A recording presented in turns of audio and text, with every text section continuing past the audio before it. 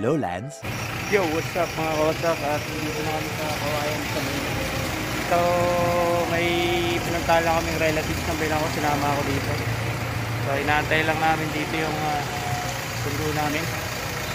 At malis kami ng Pangasinan. Alas 4 ng hapon. So, ngayon, dumating kami dito 7.30 ng gabi. So, uh, update ko na lang kayo mga kawasak pag uh, dumating na yung sundo namin dito. Peace! Next morning.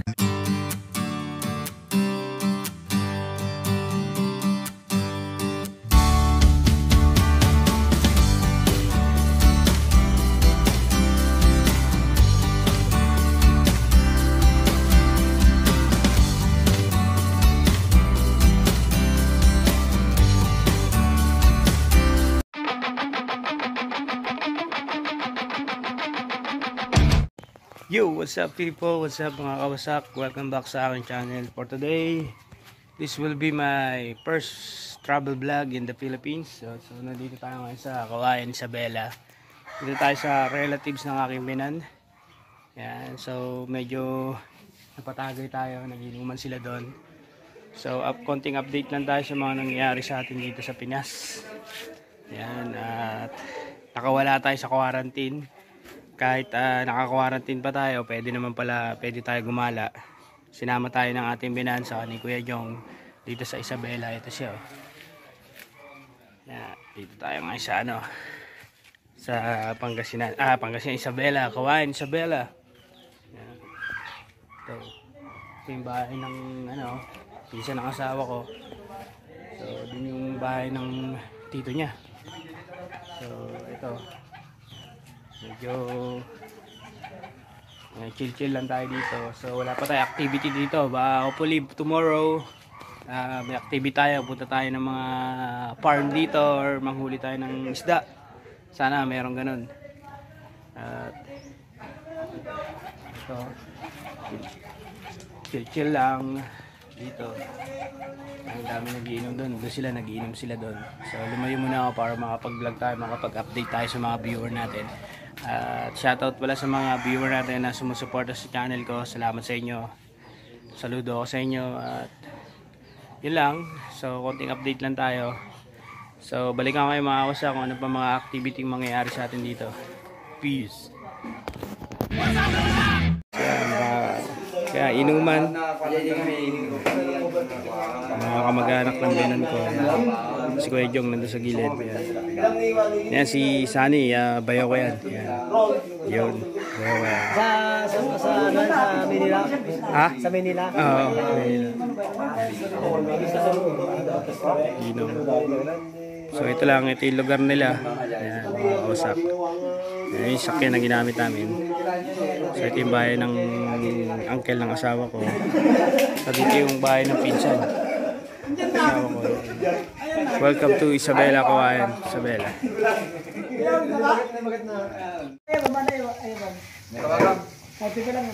Tawag mo. Malayman. Ano, di pa nagkuha ka, makatulong nga, magkatagiwa, maghiwalaan, sa ipes, ipes, Ah, na mga pa nagkuha, umuna nga trabaho, kaya di super pere ka, kusinero, kusinero, kusingir-ngir. Ano ba yan? Video ba yan? Moments later. Yo, what's up mga kawasak? At wala pa tayo activity ngayon kasi nagkakaroon ng inuman dito sa mga relatives ng binan ko. So, ganda naman ang welcome sa akin dito. At napakaganda ng lugar. Presko ang hingangin. At ito, kakasaya lang. Medyo nakainom na tayo mga. Pasensya na kayo.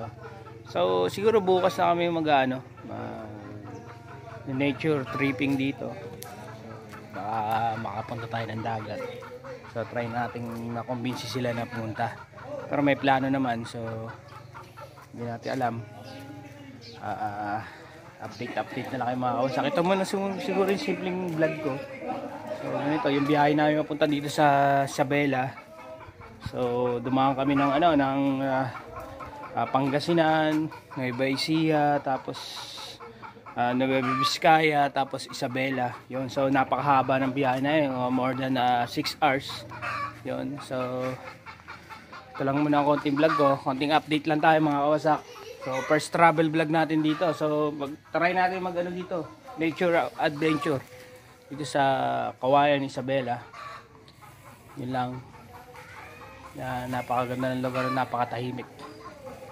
At maganda dito, napakasariwa ng hangin.